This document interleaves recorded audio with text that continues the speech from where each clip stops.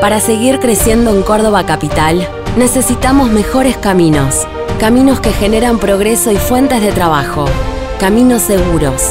Por eso, ya finalizamos la repavimentación del tramo de la ruta provincial A112 entre Circunvalación y el acceso a Quebrachal.